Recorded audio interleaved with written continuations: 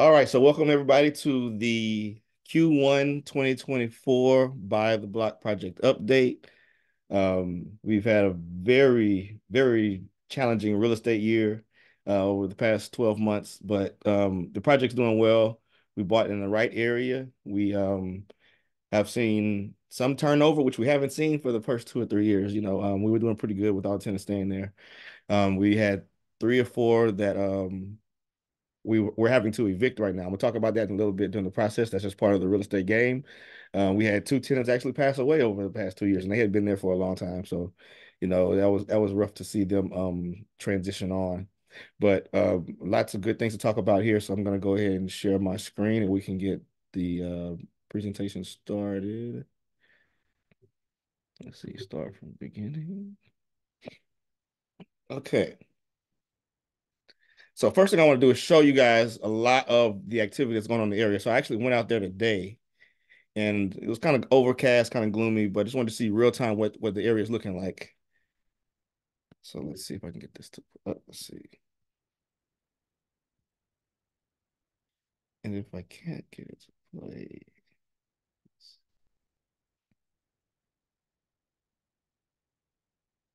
Okay, it's giving me a little issue here. Hold on, guys. We'll do this the old-fashioned way. I'm gonna go to the YouTube. Let's see. PowerPoint's moving slow today. So let's see your channel. Three years ago, I set up on a mission. Three years ago, I set up on a mission. Oh, video. Okay. BTB flyover. Let's see. Stop screen share. All right, let me see. I'm gonna do it this way.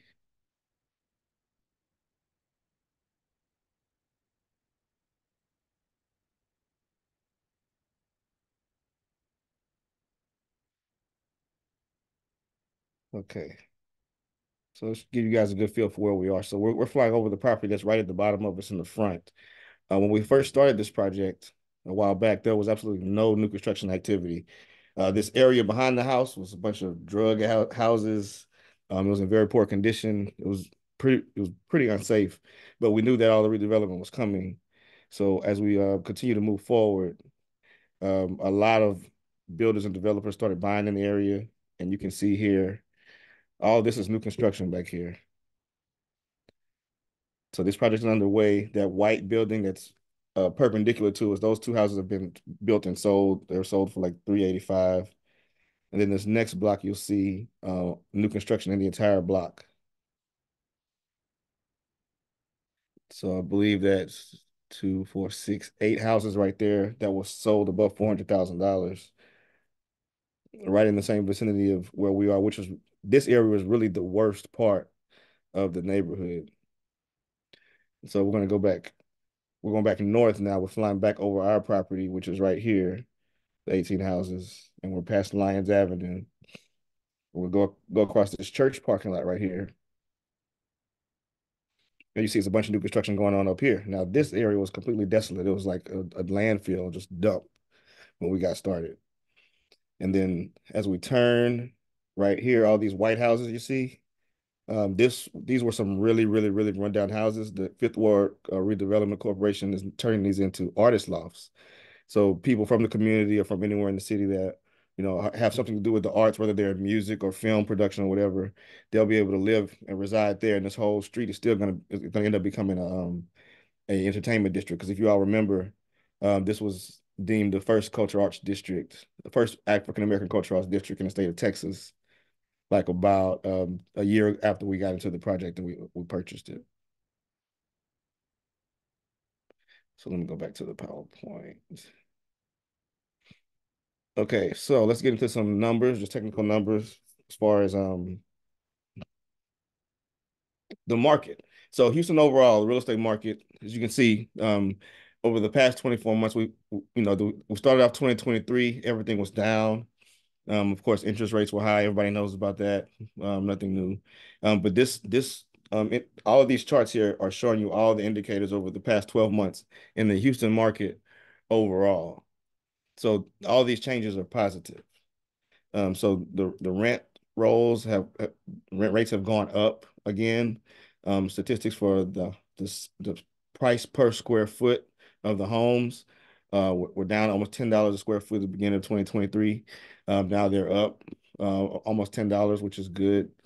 Um, the average days on market has trended um, a little bit higher, but that's because more builders are building again, which is uh, which is technically a good sign. Um, if you look at the, the pre-foreclosure numbers in January 2023, they were they were the highest. At the end of the year, you're always going to see a little bit more foreclosures, people transition, they move, and all that kind of stuff. So, um, we're looking at where we are in 2024. We're doing a lot better. Um, the average monthly rent rate has gone up significantly, which is crazy, and the the, the price for the for the size of units has gone up significantly. So that that just is an indicator of the demand of people moving from outside markets back into the Houston market, which shows we have a strong, uh, stable um, city to be to be doing our projects in and opportunities for continued growth. And listing trends, you know, you can see all that stuff, pretty much all the same. Um, then we have list price versus sale price. So you can see that there's a drastic difference in those two numbers. Um, when you see a drastic difference, that means sometimes a lot of things aren't selling. You want the when those numbers are close, that means the market and the buyers and the sellers are kind of in line and kind of in tune. And as you see, as we start January 2024, you'll see that those numbers are, are coming closer together, which is great for the market. And then lastly, the most important one is the days on market versus the inventory. So when you see a big gap between those two, that means that there's a lot of property that's just sitting. When you see those numbers get really close, like this bottom right chart, it, it says that almost as soon as things are listed, um, the if as long as it's priced right, the demand is there and, and they'll get taken off the market, which which is the key indicator for a strong housing market. So we're going to go more specifically and look at Fifth Ward um, solely. And if you look at these numbers, they're even um, more indicators that Fifth Ward is strong. Because if you look at the the second chart, the first line graph, it shows from January 2023 to January 2024, we've had a consistent increase in price per square foot, whereas the chart you saw for Houston, it fluctuated. So that means that some areas of Houston values have did go down last year. However, because of all the activity going on in Fifth Ward, we've seen nothing but uh, steady value increases. And if you look at all the other charts, they're basically showing pretty much the same thing. Um, you know, all positive indicators here. And if you look at the inventory versus days on market, the bottom right corner, that bottom line graph that that was that met almost at zero for the last one, you can see the inventory is actually below the demand now. So that means there's there's going to be a, a, demand for even more housing, and as more builders come back and or more property owners sell, we're going to see even more activity in the local market here. Uh, this chart on the right, specifically, is talking about lot prices which is very important. And you want to look at the very end of the year because that's that, that you know how you close out the year is usually how the next year is going to start. So if you guys really look at this, we bought our property in 2020. Okay. So the average lot price in November, December, 65 to 70,000. Average lot price is now 92,000 to 140,000. So that's just another clear indicator that we are in the heart of where all the value increases are. Um, we've been able to maintain our investment, um, secure our investment, and we do have value appreciation. Okay. So um, let's talk about some of the properties that we have on site. So, okay, so as we all know, the last property that we had that we never really launched and opened was this this last commercial building, the building that was built in 1920 we went in and we gutted everything out. We started to do renovations, but then we had the market crash and commercial uh, re real estate just went in the tank, and there was no point in us investing that money and just have the property sit. So we we basically have it back to the shell. Um, it's all framed out. We did start this summer bringing new utilities in, uh, getting permits and everything. And the one big delay we had was the electrical on the electrical side of the project, the infrastructure that was there was just completely outdated. Uh, it was designed in the 1950s for a small barbershop and a small restaurant. None of that stuff was nowhere near uh, code requirements now. Not only that, but the the uh, utility infrastructure that from CenterPoint Energy, who's the utility provider that that feeds into our building, was not adequate. So when we when we submitted our first set of plans to the city, um, they told us that what we were doing, as far as it being a, a creative space and event space, would require a very high um, occupancy rate, which means you have to have very strong um, AC systems and electrical systems in the building because of the demand of, of the, the electrical load that's going to be pulled by that building. So they wanted us to install what's called a three-phase system, which is a commercial grade system for the ACs. Um, however, there was no um, infrastructure coming from CenterPoint into the building to support that, which meant CenterPoint was saying that they would have to spend, well, they'd have to put about thirty-five to forty thousand dollars into buying a big transformer to put on the new pole just to supply our building, and they wanted us to pay for it. Um, however, we also knew that as everything continues to grow in the community, especially along Lyons Avenue, there's going to be more commercial buildings along that street. And it just didn't make sense for us to have to invest out of our pocket for CenterPoint to then have all the upside of that once all the rest of the businesses start coming in. So we gave them pushback and we held off, and um, it, it finally paid off for us. Uh, we were able to talk with the city and city planners, city engineers, and they were able to identify a way that we could use three residential units for the AC system instead of one commercial unit, which allows us to not have to go to the bigger three-phase electrical grid, but we can stay on the, on a single phase. And we've also got them to contribute to that they, they do staff they do still have to bring in a new transformer, but the city agreed to step in and cover that cost on, on behalf of our project because they know what it's going to do for the area.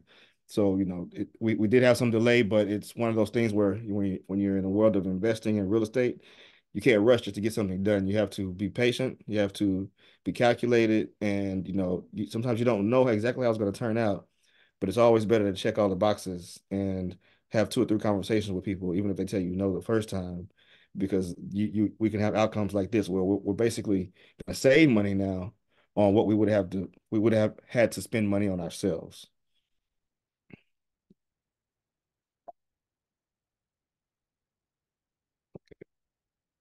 Oh, so some other exciting news. The, so the building next door, the one that we've been that we've had open for a while, there's a podcast studio. Um, it's been garnering a lot of attention, and it's kind of been running on autopilot. When we when we first launched it, we had to push for a lot of the marketing, um, social media, um, ask for a lot of word of mouth uh, recommendations or referrals. But since since I had been doing so well, it's like one of the top ranked sites in Houston. As a matter of fact, we won the award last year for number one event space in Houston. And so now we have people from all over just booking the space. We've had the OWN network use it two or three times. I told y'all that before. Uh, we've had several television shoots, uh, video shoots, and recently someone that was in in church at Lakewood sent me a video uh, during church service, and they were sure enough they were shooting uh, in our spot. They had used it like for production a week ago. Unfortunately, we're praying for them now because we I don't know if everybody knows, but they had an incident at church uh, last week where an active shooter came in there. But um, you know, this is a testament to um how we can go into the community and take what was abandoned house that everybody was overlooking, um, thought it would it should have been torn down, and we've turned it into something that's become almost I would say a landmark or a staple in the community. And with that, um, since we've had it for three years, we've had a lot of events, a lot of parties. There's been a lot of foot traffic in there. We I usually go in there once a year and do what, what we call a refresh. So you know, go and redo the floors, and everything that's got wear and tear um, sheetrock damage, um, th things like that that are small, minuscule. You know, just touch up all the paint everywhere. Um, we we usually have that expense every year, and then we just keep uh, reusing the space for for the same purpose. However, it's always good to um, when you're dealing with event spaces to kind of give it a fresh look, give it a fresh use case. And so we decided to partner with IO, um, Isaac Yalman, who's um, the the the designer and the the the um media I would say local mogul. He, he, does a lot of film production, movie production. He's got uh, Grammy winning songs, triple platinum albums. Um, but so he does a lot on the film production side. And since we're doing so well with the film production, uh, what we're going to do is we're going to allow him to take over the space for a little while. They're actually going to invest. They're going to invest some of the capital required to redo some of the other rooms to give it more of a production feel versus an event space feel. And then they're going to actually run the operations for that space. So what that does for us is that that takes away our expense of having to have a personal um, um, manager for the property, which which we were doing before. They're going to manage it, and then by them having to put capital into it, they have skin in the game, so they have um, as much motivation as we do to see it do well. So the agreement that we've come to with them is we we looked at what our average revenue was each month last year, and we're gonna still be able to make that as a base case, and then anything that's made above that, we're gonna we're gonna give them a split on paying back their initial investment in the renovations, and then we all split the rest of the profits. So we haven't come to those exact numbers yet. I'll, I'll update y'all when we have them, but that is the general overview. So you know we, we won't miss any money while we're while while they're taking over and it's going through transition. They will feel like they're getting a slight return on their investment, and then we both benefit from the upside from there. So once we get those actual numbers defined, I'll let everybody know what that structure is going to be. And um, once again, everybody can um, just go to Peerspace at any point in time, and you can look at the site. You can look at the reviews. You can see, you know, how, how booked the place is because everything's open. Um, open access is open for the public because it's there for people to book for any type of use. Okay, so let's talk a little bit about the residential side. So as I said earlier, we did have two tenants pass away. We do have four tenants that we're actually having to evict. Unfortunately, we've been working with them for several months. Um, housing assistance programs that pay rent, uh, but some of them just don't have an interest in, in uh, cooperating. So, you know, we are not in the charity business. We are in the community revitalization and saving business. So, um, we're going through that part of the process now. Uh, one of them has already moved out ahead of the court date. So we have three left. Actually, and what's what's crazy is one of the people we're evicting wasn't actually ever our resident. He was the cousin of a resident that moved out like three months ago, four months ago, and he just became a squatter. So, uh, and we found that out after the first two or three weeks he was in there. And so this is this is the, the, another good thing that you all get out of this process is you get to learn what it's really like to be a landlord and be a real estate investor, the good, bad, and the ugly. So he was there for like three weeks. He told the law enforcement that he had been there for just over a month. But once somebody's in there for 30 days, they have civil rights to squat on the property and it becomes a civil matter. It's no longer a criminal trespassing. So now we have to go through the expense of having him as one of the people that we're evicting in this process over the next month or so. So, um, you know, unfortunate circumstance. Thankfully, he's not causing any disturbance on the property or anything, but it is a nuisance. And this is just the ugly side of uh, being a landlord in real estate. And believe this, believe me, believe you me, this happens in all different levels of real estate. It's not just in low income communities. Um, people do it at, at, at all different levels. Um, so the benefit that we do have of having these units vacant now is that we will be able to go into them and refresh them and give them some fresh paint. So if you all remember, we only fixed the units in the beginning that were vacant or had serious repairs that were needed that were what you call deferred maintenance. Deferred maintenance is anything that the previous landlord did not do. Um, and they were just, you know, kicking the bucket, kicking, kicking the rock, kicking the can down the road because it was not an immediate issue for them. Well, when we came in and bought it, we didn't want to have any of those uh, red flags pop up. So we uh, decided to go ahead and handle all those repairs. Well, now we get to go back to these other units and get them up to speed to look as good as uh, some of the units we did initially which is also going to help us with the Houston Housing Authority's uh, voucher program, where they're going to uh, give us rent amounts that are basically going to double some of the rents that we had before, or at least raise the rents by 50%. Um, so we'll be, we're going from 550 to, I think the highest rent we have right now is 750. Um, and then we're going to be between 1100 and 1280 for each unit and that that additional rent is not coming out of the tenant's pocket. It's coming from the housing authority. Um, for those of you that were uh, in the project about a year and a half ago, we had the housing authority chairman come on and talk to us. And since you know we're doing what their mission statement is, is to keep housing affordable and keep residents in their community that they're from. Since they see we're doing that, they're going to subsidize our business case so that we don't have to so we can stay afloat, be profitable, want to stay in the community, and still provide housing for the residents.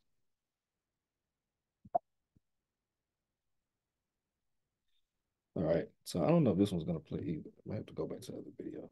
Now I want to give you guys an update on everything's going on in the area. So let me go back to YouTube. See if I can pull this video up really quick.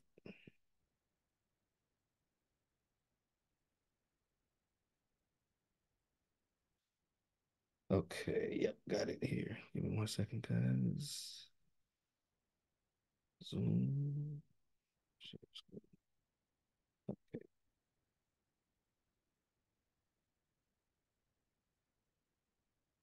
Okay, so if, you all remember when we first started, this development site was really nothing but dirt. Um, these can if you can see the screen, these these townhouses you see in front of me were starting to sell about 319, 325. Now they're selling between 429 and like 499 right now. They had got to the 500s for a little while, but of course, you know, interest rates going up and everything, prices have, have dipped a little bit, but still significant increases. And this site was completely just dirt. So to the right is the 450 unit uh Laura apartment complex where rents majority of rents are over two thousand dollars a month. Um, they do have like 10% affordable units. The back the buildings in the back are commercial buildings, um, where Google's gonna have a couple floors on one of the buildings, and a couple other big nameways like the Houston um, Port Authority is gonna have uh, an office on one of the floors. This on this side is not part of East River. This is the private developer that came in, but a 600 unit apartment complex right across the street right off of Buffalo Bayou.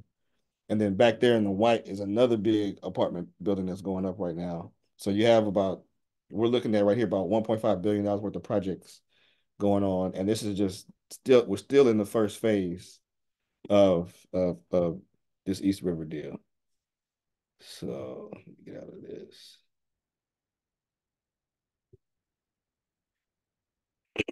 All right, so let me get back to the presentation. And guys, if you have questions, make sure you're just taking notes so that um, you can ask your questions whenever we get done here.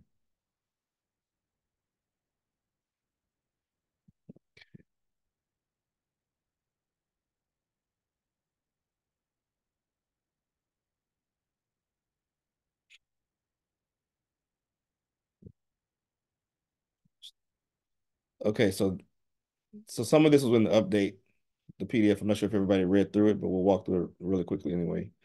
Um, so yeah, so the summer of 2024, most of those buildings you saw will be online.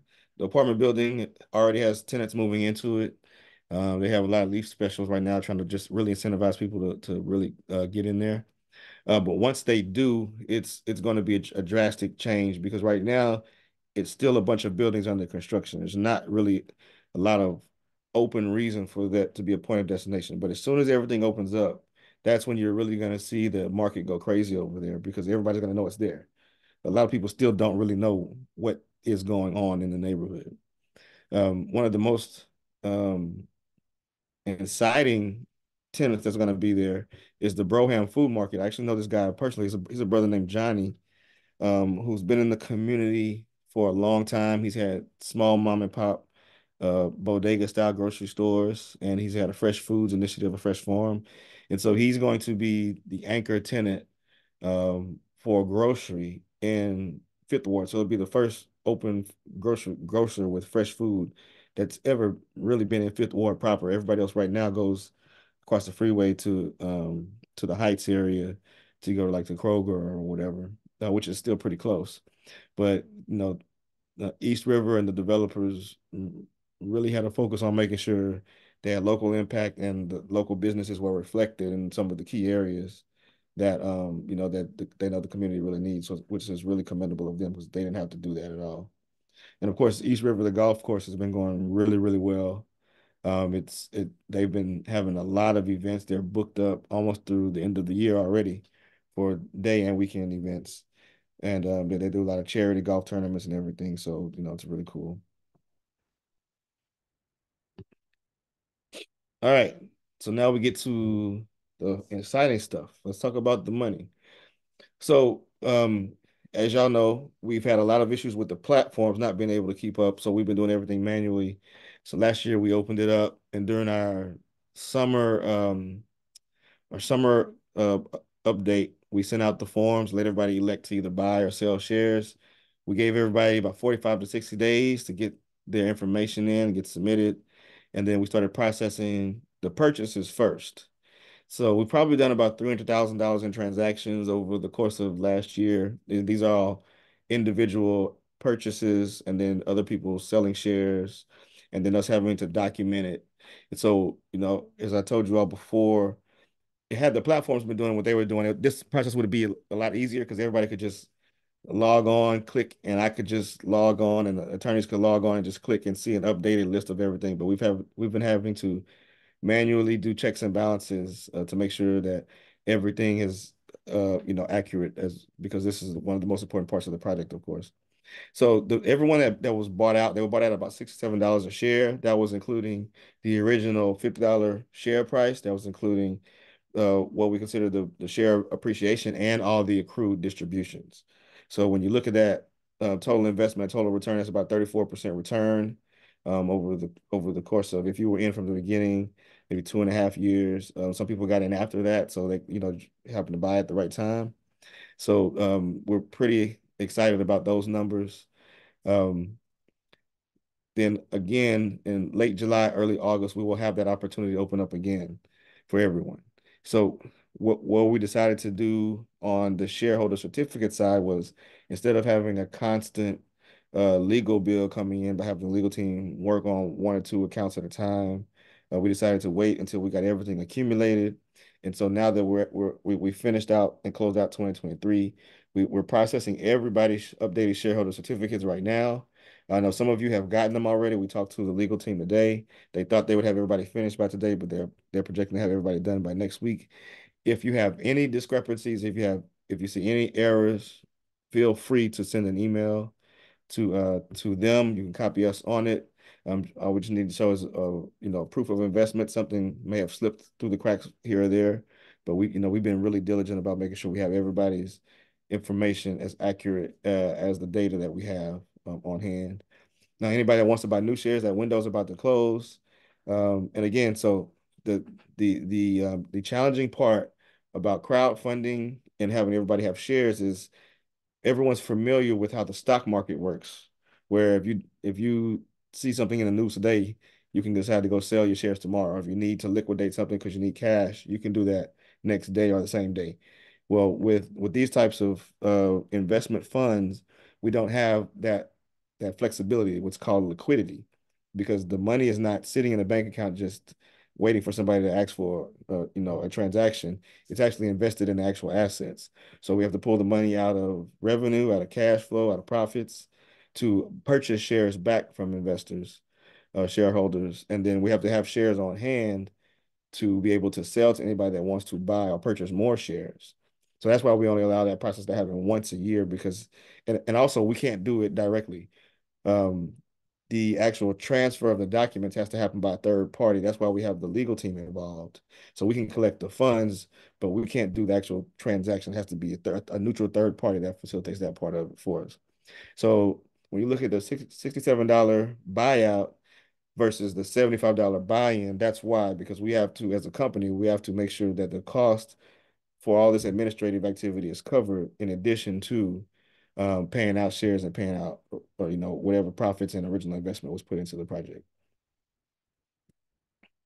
So say all that to say, um, we made it through the roughest part of it. Everybody that's still here that uh, we had, we did have some investors that really just didn't like the fact that they couldn't log in every day and see what the share value was, which is understandable. So, you know, some people were more focused on that. They were focused on the bigger vision of why we were in this project, what we were doing it for. Well, thankfully, we're we're going to be past that phase now because Core Connects, who we have been on for the past um, a year and a half, almost two years, they were actually a startup, and we got with them too. So they were still building out all of their user uh, user amenities and user benefits. And so now all that stuff is online and we will be able to do everything from the portal. And they've even added the, the online, uh, I mean, the, the mobile app so that everybody will be able to log into your account and see the updates. Um, now, what you what what still will only happen about once a year is the value increase, the value of the shares, because this is not like the stock market. Things don't go up and down every day. Um, real, real estate is a little bit slower moving. So, you know, do you only get a real value appreciation when you get a new appraisal done? So it's like hurry up and wait. You invest at the right time, you know the values are going up, but you don't get a documented value increase or do a documented indication of what the value has increased until you reappraise the property. So, you know, but now that we have this service, we can do this more efficiently every year. We can still talk about uh, once re once revenue gets back up, and you know we have more more profitability once we get these units leased back up, and we get the other building online. Then we, we can talk about um, how that's going to reflect in the account, which is in, instead of it being separate distributions, um, since we've had probably 95% of everybody decide to let their um, their distributions accrue. We're just going to start converting those over to additional shares. So for you on the investor side, it doesn't reflect any differently because if you want to get distributions, you just liquidate some shares, right? So it's it's the same, but it, it takes the makes the accounting a lot easier for us as we roll everything over um, into the the new platform, so that it's it um, it's less variables in the equation and less things that would that could possibly be missed. So yeah, so the platform, all the shareholder communications, like everything that's in the the uh the BlockVestor Dropbox folder, that's the Houston BlockVestorUpdates.com. Um, all updates for meetings will be in there. Um, you can have notifications turned on on your phone, so you get all those. Even you know now, we still did have some challenges with um, text messages or emails getting blocked or getting caught by spam filters. Uh, we we bypass all of that by having everything housed on the platform when we get ready to do buy sales buys or sell opportunities. You know, you can you can elect that through the platform, and also just all the project statuses and the reports. All that'll be available within the dashboard. So really excited about that. And for the first time, we are going to have an in-person meeting. Um, April, end of April. So anybody that is in town uh wants to plan to come to town, please mark this date on your calendar. Um, we're going to try to get some city officials out there. We'll try to make it a a, a pretty big event. Want community residents, some of our long term tenants to be there, so you guys you guys can meet them. And we want to make it um, really a celebration for what we've been able to do as um, as owners of a significant um, landmark, piece of property in the in the uh, Fifth Ward community. So with that, um, again, so this, you, you know, guys, you all, you all, you all know we always do two calls. This is the first one, just giving you a general overview. I want to give you all time to think of any other questions you may have, any other concerns. You can email us this information, and we'll try to get those answers to you before the next call. If not, we can address it on the next call. Um, again, Houston BlockVestor updates will have all this, all the information from the previous call, so you can see wh where we've come from and where we are now. And then if you have any issues with your online account with KoreConX. Uh, just go to support at koreconx.com, send them an email. You can copy us on it if you want, and uh, they will be able to make sure your your online account is set up. So a little bit more about the timeline. After all the um, shareholder certificates are updated and we get feedback from everyone that everything looks accurate, that's when we're going to tell KoreConX to update everything in their system because we didn't want to have double work again where you know, it, it, it, the, the information is conflicting. So if you got your shareholder certificates and if you don't see anything wrong, we don't hear from you in a couple weeks, we're going to assume everything's right. Um, if you see anything wrong, please feel free to give us information so we can make sure it's right. So that the, the database that we provide to KoreConX to update everybody's information is accurate. And at that point in time, you also see the new share prices and new share values updated as well.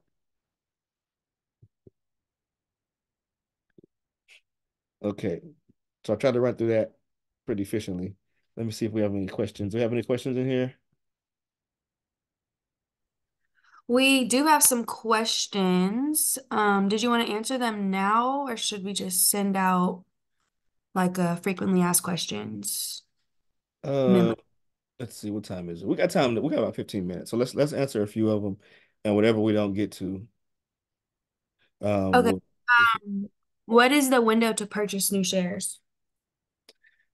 Okay, so we had really originally committed through through this weekend. So if you don't get them before Sunday, we're going to close that off, and we won't we won't reopen that up until we have everything available through Core Connect. So we won't have to do all the manual uh, components of it. So February 18th right now is the last day.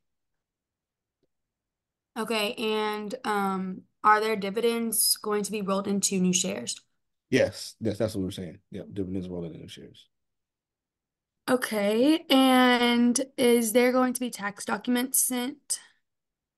Yes. So uh, I want to talk to you all about that too. What, what we're, what we're, we're trying to do is is figure out a, a way through our securities um, attorneys that we don't have to do the usual tax reporting that will be required for a fund because the investment amounts are so much, and it it if if we did it the way that they want us to do it, it would eat it would cost us fifty or sixty thousand dollars every year. So I know several uh, uh, other crowd fund um, operators and owners have figured out ways to minimize that cost. So that's what we're working on now before we send these these um, accountants out with all this because it, it, literally it literally triggers a K1 statement, which is an individual tax accounting for each individual investor in the entire fund. So we may have to restructure the way the the, the um, um, operating agreement is written, um, but we're working on that right now. So if we can't get around it, we will have to do it again this year. But we're hoping to, to be able to avoid that. Okay, this next question just says fractional share buying from the dividend reinvestment. It's going to be automatic. It's just, it's going to convert over. So instead of it having instead of you having two separate categories of let's say a share and let's say ten dollars in dividends, it's going to be you're going to have this many shares and 0.33 shares, which is equivalent to the dividend amount. So it'll just be it'll be like 55.3 shares instead of $55 and and fifteen dollars accrued in dividend interest, you know. Okay, and when will the updated share information and certificates be received? Uh, that, well, that that's what we're saying now. They're sending all those out right now. Um, there's almost fifteen hundred people in this, and like I said, they're doing everyone manually. So and and there's triple checking, right? You can't just send out a certificate. You gotta they're, they're double checking, um, list against list, reconciling to make sure all the stuff makes sense. So it does take a while but thankfully this will be our last time having to go through this manual process. Um, Core Connect actually has their own version of a blockchain that'll, that'll keep all this data uh, up to up to date. Uh, Jacqueline, I see your question about um, distributions. Everything has accrued. If you have not received distributions, it has accrued, and every share is treated the same. So as long as you confirm the number of shares you have, there there is there won't be any discrepancy uh, on what the distributions are. Can you purchase new shares from KoreConX? No, not yet. Cannot. That won't be until the summer, probably at the earliest. Only okay, what is the hmm? what is the appraised value of the property now? Uh, the, okay. Let, let let's play this. The last appraised value was 1.8 million. That was over a year ago. Um, the well, I'm sorry, the last tax appraised value was 1.8 million. When we got the property appraised, it appraised at 1.97. Um, the tax value now is, I believe you guys go look it up. I think it's like 1.85, which is good because you know everybody's value went down last year, so we're back at 1.85 there. We have to get it appraised again. Um, I'm, guessing it's going to be around two million. Um, we'll, so we'll do that. I didn't want to do it too early because the, the market is recovering, and as you know, whenever day you you would like to get that appraisal done, they're going to use those exact numbers. And if we know interest rates are going down, we know demand is going to go up this summer. We should wait until the summer to get the appraisal done so that we get a true valuation at that point in time. The shareholder certificates are PDF, email. They're electronic. All right. And it says valuation updates for IRA investors, FMV. Yes, if you need that, just um, send that send that over. We can do that. Um, you can even pull tax um, value information with, since we didn't have an updated appraisal yet this year. But I mean, they, they just wanted a roundabout market value. They just want to make sure you haven't lost all your money. You know, that, that's all they're really checking for. What is the total share count of the entire fund? 21,000 something. Um, oh, hold on. I can look right here. 21,685 shares. Can you go over the process of buying new shares and where to buy them from? Um, well, like I said, we had two days left on that. We had the the legal team create a form where you fill out where you verify your identification, your personal information, and um, then you elect how many shares you wanted. So since uh, they are called the transfer agent, they handle that part of it. Um, then we send you the link to make the payment. Once we receive the payment from you, we confirm to them that we received the payment, and they issue the shareholder certificates. Do you all protest the property taxes? Um, we have not protested the property taxes last year. We may do it this year. The challenge with protesting property taxes in an area where the values are going up so quickly is that it can backfire. And they can say your your value should be even higher. They can ask for rent revenue and our revenue, all stuff is going up. So I don't feel like we're we're unfairly um, being taxed right now. They they're usually staying between 10 and 15% below market tax. Um, but I tell you, the other property I had last year, guys, uh, the, the church property that I bought with the other small group of investors, um, we got hit with a three hundred thousand dollar tax bill. So you got to be very careful when you play that game. Um, they're, they're especially in markets where there's a lot of real estate investors. The taxing authorities are becoming a lot more savvy to that game. All right, that's all the questions in the chat. I know Tim had his hand up wanting to ask. Okay. You on mute, Tim? Yeah, what's up, Chris? Um, appreciate the update, man. I I, I kind of missed the last few calls. I'm just not catching up. Appreciate you know what you and Brittany are doing. Um, my question is kind of alluded to like the last comment in there. We purchased like about 110 shares in July 2022. Mm-hmm. Um, we got the receipt right saying we paid for it or whatever. Yeah. But we have no information on any certificates. We filled out that jot form you sent. Yeah. The attorneys, it's been nothing. We haven't heard anything. So I'm sure something is going on, but we're just I haven't had a chance to catch up. So I'm trying to figure out how, how do we get caught up here. Yeah, if y'all if y'all haven't gotten it, and once again, it might be it, it is a little bit overwhelming for the legal team too, just to be honest. So if, if y'all didn't get it, y'all need to make sure y'all let us know because they're sending everything out right now. They're sending everything out right now with all the updated shareholder certificates. Um, log into KoreConX. If you don't see it reflected in there, let us know. And it's, it's, it's checks and balances, right? If Core Connect doesn't have it or you don't get anything from them, then we need to update it. And once we get through this last cycle of this, we won't have this issue anymore. But it's you know, it, it's it's been tough to, to keep everything uh congruent across the board with so many people involved. So yeah, just just what if you have the receipt, send us that, and we'll we'll get it straight. All right, thanks.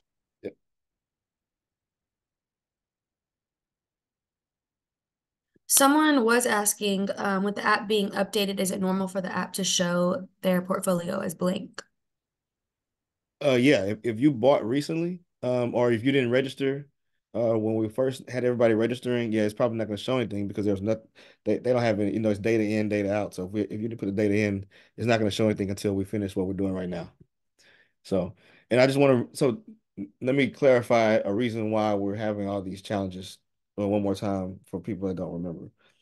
Everybody else that did crowd funds, majority, 99% of crowd funds were people raising money for a startup company and people that put money in were not getting a return on that investment for like five years. Hey, you may get your money back in five years. Um, and this that because was more it was more used as a tool for like venture capital. They were not ready for a group of investors to go buy a cash flowing real estate asset that had money coming in all the time and values already going up. So that's why it's been taking all these platforms so long to catch up to what we need. Um, we're we're literally probably one of five in the country that I know of that actually have an active real estate investment and not doing a development where you still have a year or two where the money's there, but everything's being planned. They started construction and it's not really profitable yet. So, you know, to them, we we were we were like a an anomaly. And so that that's why it's been so hard. And that's why we've been working overtime, having to do a lot of this stuff manually uh, to get um, us to where we are. And I think we're all, probably the only one that's really doing a social impact development project with real estate for sure. Should they have received an email about access accessing their KoreConX account? Definitely, yes. Uh, support at KoreConX. If you have not gotten that, send the email to them. Support at KoreConX, and they will get you set up with that.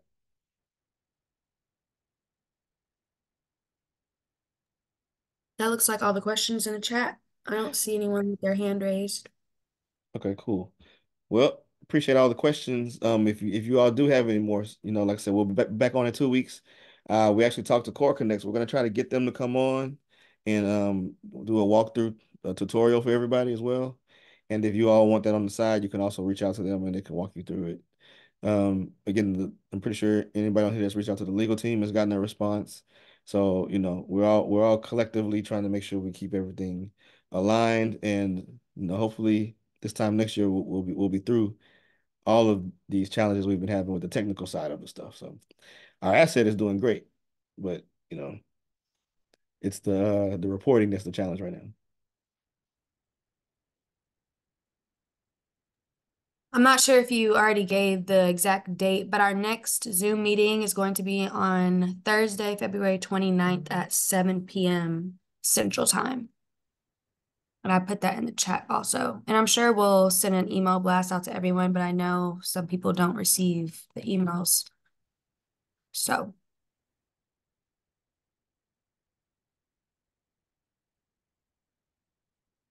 All right. Can you say that date again? yes, it'll be Thursday, February 29th at 7 p.m. Central Time. And we'll and of course we'll send follow-up emails out and text messages out to everybody too. And we'll put it in the KoreConX account now. So since we have that, and it'll be in the BlockVestor updates folder. So if anybody has any questions, we'll have it everywhere you can find it. Yep. Thanks, Chris. We appreciate you guys. No problem. Appreciate everyone uh, being involved and sticking with us through this mission. Um, I'm really excited to see where everything goes once the uh, East River opens up. I think everybody's going to be really surprised at what, what's about to happen over there. So, all right. Talk to everybody later. Have a good night. Thank you. You, good night.